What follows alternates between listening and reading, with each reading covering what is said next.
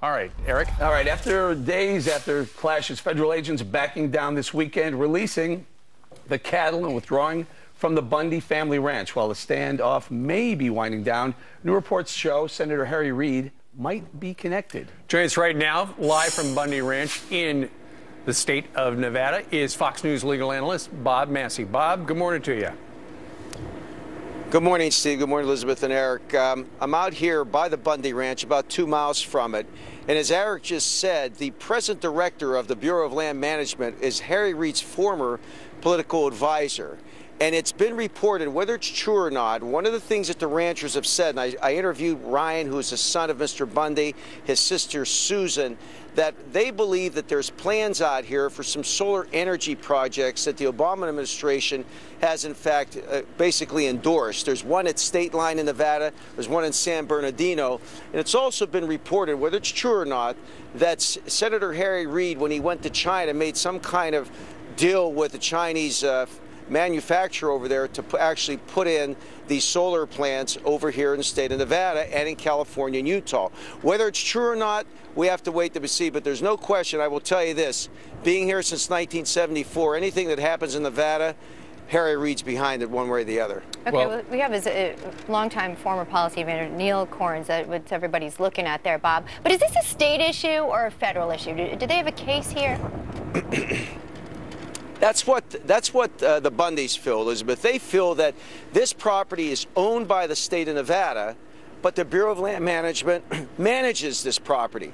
So the question is going to be really who should have, if you will, jurisdiction over. Well, a federal judge, I must tell you, uh, Lloyd George, issued a, a, a order back in July of last year basically saying, look, we believe that the Bundys are basically trespassing on this property and issued an injunction saying you got to take the cattle off and only gave them 45 days. But basically, the Bundys basically have stood ground and said, wait a second, we are willing to pay grazing fees. We want to pay grazing fees, but we will pay grazing fees to the state of Nevada, to Clark County. Clark, Clark County is basically saying we cannot accept these grazing fees because this is managed by the Bureau of Land Management. So you have this conflict between the federal government, if you will, and the state, and they want the governor of our state to stand on state sovereignty and say, look, we have to be independent, we have to stand on our fundamental rights. And the other thing that's sort of strange, this family has been grazing cattle since 1877.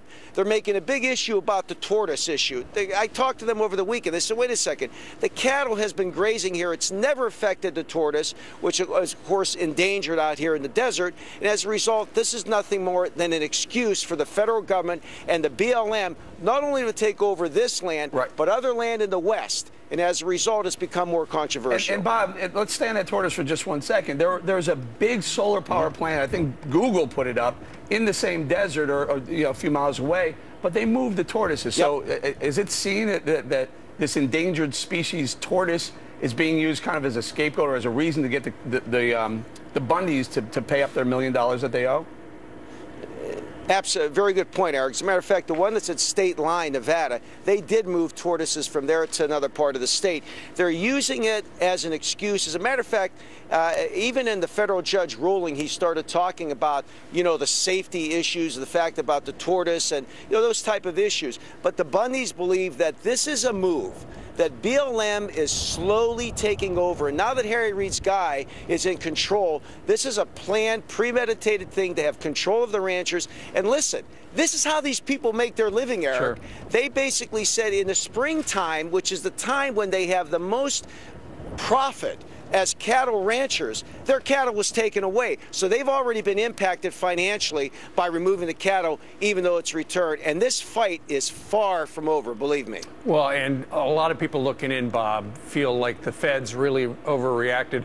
So it's uh, 3 o'clock in the morning out there in the desert where you're standing. What are they expecting to happen there today? Well, right now we're not sure, uh, Steve, because at this point in time, although there's still protesters here, because the BLM has made the statement this is not over yet, They're, I guarantee you, these people aren't going anywhere. They're going to stand their ground. We're going to talk later on in the show what possibly is going to happen. But right now, I think everybody is standing ground. Matter of fact, I talked to my cameraman who was here over the weekend also. So you know what? It was a tense situation on Saturday. Yeah. If somebody would have would have dropped a, a, bottle, something that sounded like a gunshot, it probably could have got ugly. So they did back down because of safety reasons. All right, uh, Bob Massi, out in the dark, 309 near the Bundy Ranch. Bob, thank you very much for putting it all into perspective.